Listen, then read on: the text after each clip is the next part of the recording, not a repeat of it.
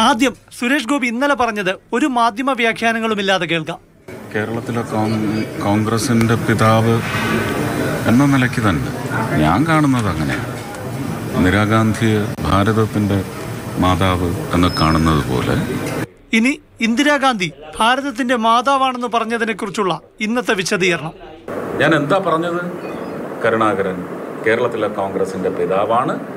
ഭാരതം എന്ന് പറയുമ്പോൾ മാതാവാണ് ഇന്ദിരാഗാന്ധി എന്നത് ഹൃദയത്തിൽ വെച്ചുകൊണ്ടാണ്. അല്ലാതെ രാഷ്ട്രപിതാവ് മഹാത്മാഗാന്ധിജിയും രാഷ്ട്രമാതാവ് ഇന്ദിരാഗാന്ധിയും എന്ന് പറയുന്ന വ്യംഗ്യം പോലും അതിൽ അതിൽ ഇല്ല.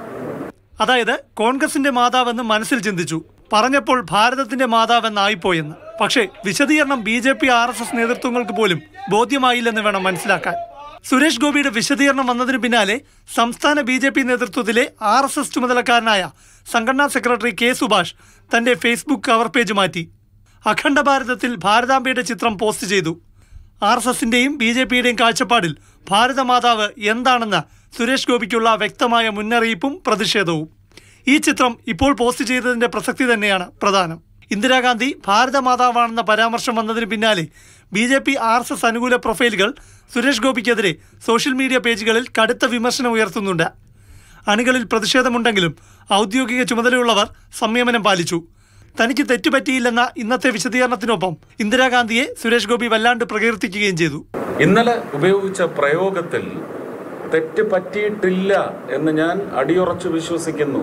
Shrimati Indira Gandhi is the real and only architect of India post independence and until her demise ഇതൊരു പൗരൻ എന്ന നിലയ്ക്ക് ആയമ്മ നടത്തി വെച്ചിട്ടുള്ള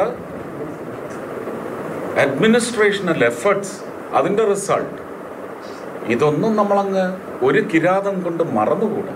സംഘപരിവാർ നേതാക്കളെ അടക്കം ജയിലിലടച്ച അടിയന്തരാവസ്ഥയെ ബി ജെ പി രാഷ്ട്രീയമായി എതിർക്കുമ്പോഴാണ് ഒരു കിരാതത്തിന്റെ പേരിൽ ഇന്ദിരാഗാന്ധിയെ മറക്കാനാകില്ലെന്ന് സുരേഷ് ഗോപി പറഞ്ഞു വയ്ക്കുന്നത്. ഇതോടെയാണ് പ്രതികരിക്കേണ്ടവരുടെ ഭാഗത്തു നിന്ന് തന്നെ പരോക്ഷ പ്രതികരണം ഉണ്ടായത്. പ്രശാന്ത് കൃഷ്ണ മാതൃഭൂമി ന്യൂസ് തിരുവനന്തപുരം.